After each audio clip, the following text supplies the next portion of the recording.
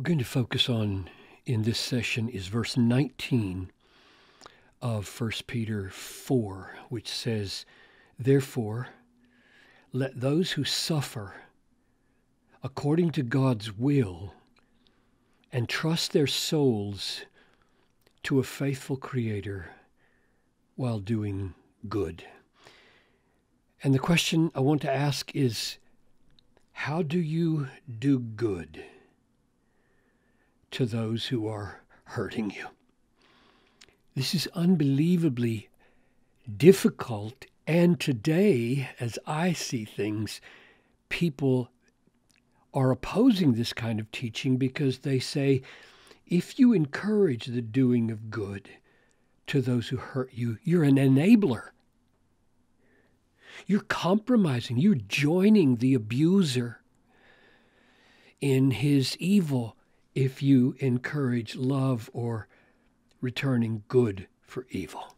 So this is huge in every age and, and especially in ours, I think. And the, the way we'll go about answering it is just trying to be sensitive to uh, the meaning of the key words here and their relationship with each other and some of the connections with what's gone before and elsewhere in the letter. So, Father, I know how hard this is for me to, to do good to those who hurt me, offend me, and I pray for miracles to happen through the meditation on your word so that we would be the kind of counter cultural people you call us to be as citizens of heaven. In Jesus' name, amen. Let me read this in context. It is time for judgment to begin with the household of God. And if it begins with us, what will be the outcome for those who do not obey the gospel of God? And if the righteous is scarcely saved, what will become of the ungodly and the sinner? Therefore, this is what we're looking at. Therefore, let those who suffer according to God's will and trust their souls to a faithful Creator while doing good. First question What, what does according to God's will mean? It defines suffering. Does it mean, uh, here's first possibility, uh, if you suffer, that's God's will? Or does it mean the way you suffer should be according to God's will? The, if you suffer, is he saying God will decide whether you suffer or not. And one of the things supporting that interpretation would be noticing right here that judgment begins with the household of God, and that is this suffering. So it's clearly God's ultimate design. And we know that's the case back in chapter 3, verse 17. It is better for you, uh, better to suffer for doing good if if that should be God's will. So it might mean, meaning number 1, that suffering according to God's will means if God wills, we suffer. Or it might mean suffer in the way God wants you to suffer. And remember, just what, a few verses earlier in verse 15, let none of you suffer as a murderer, a thief, or an evildoer, or a meddler. Don't suffer that way. Suffer according to God's will, doing good, not doing evil. Now, frankly, I do not know for sure which one of those Peter intended. But what I do know, this Here's a strategy for thinking and teaching and preaching and, and counseling. When you run into a situation like this where you're not sure which of the meanings is meant here by Peter, and yet you know from 317 and from this word right here that meaning number one is true and you know that there is a way to to suffer that pleases god and in verse 15 a way to suffer that displeases god this meaning is also true. You can just say that. Say that to your small group or say that to your congregation. I'm not sure but both are true And so let's just let both stand here, and maybe one will help make sense of the rest of the verse and therefore commend itself.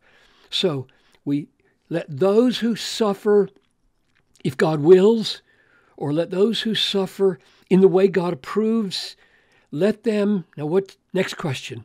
What are they commanded to do? What are the sufferers commanded to do? They are commanded to entrust their souls to a faithful Creator while or in doing good. Not just entrust your soul to a faithful Creator and wait around to go to heaven while the world goes to hell in a handbasket and it doesn't make any difference what you do to it because it's rotten to the core and none of your good deeds are going to make any difference anyway. That's not the way Peter thinks. He says, entrust your souls doing good. So we're not promised that we'll be given life here, but we are promised we ought to be doing good till the day we die, till we take our last breath. Our job on planet Earth is do as much good to other people as we can. Nor does he say just do good. You know, screw up your courage, be a stoic, pretend like the, the suffering doesn't hurt, and, and be a, a person who does lots of good.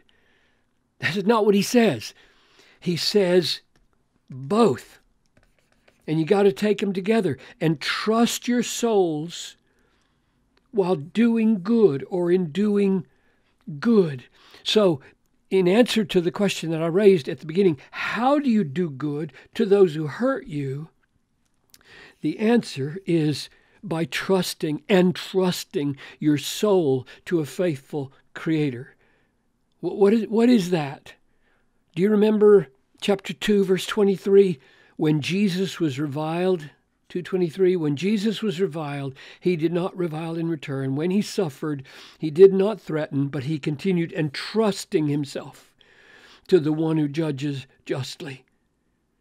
The way jesus endured the cross and kept doing good for us ultimately ultimate good for us was by entrusting himself to his father and here he is doing it in Luke 23 46. Jesus calling out with a loud voice on the cross and said, Father, into your hands I commit. That's the same word for entrust to a faithful Creator. I commit my spirit. That's the way you're able to do good. You, you trust your soul to a God who, back here in verse 18, saves the righteous is scarcely saved, but oh, they are saved.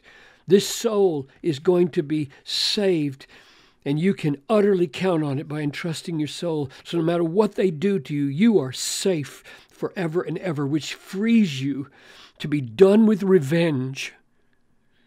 Hand that over to God and keep on doing good. Which leaves one last question for me, and I'm sure there are others. Why does it say to a faithful Creator? Why not to a merciful Father or a great Savior? Or why focus on the word Creator and faithful? Of course, the word faithful conjures up, He keeps His promises. Promises what? Like 312. The eyes of the Lord are on the righteous. His ears are open to their prayer. He hasn't ignored you. He's not looking away from you. But the face of the Lord is against those who do evil. And that's these people that are treating you so badly. His face is against those who do evil. His eyes are on you, and he keeps his promises. So we expect faithful. We need a faithful God. But why the word creator say instead of father? Jesus handed his soul over to his father as he was dying. And my attempt to think that through is to say these people are, are small and insignificant and beleaguered and they feel so weak and so marginal in the Roman Empire. And they need to be reassured that the God into whose hands they are committing their souls is a mighty God. And the reason I feel I feel that that power is probably what's being thought of when he puts creator here is because if you go to 411 in in the last next to the last chapter or just just earlier here in what we're looking at now and you come to the end of that paragraph he says to him belong glory and dominion. The word there is kratos power and when you get to the very end of the book, the very last thing he says, after you have suffered a little while, the God of all grace, after you've suffered a little while, the God of all grace, who called you to his eternal glory in Christ, will himself restore, confirm, strengthen, establish you. Can he? Can he? I know he's faithful, but can he? To him be the dominion. He could have said glory. He said dominion forever and ever. That's the last thing he says about God in this book. Power. To him be creator dominion. The, he made it all, he has dominion over it all. So entrust your soul to one who keeps his promises and has all power so that you know you will be saved and therefore all vengeance can be handed over to him, and you can, till your last breath, keep on doing good to those who hurt you. What a witness to the reality of God.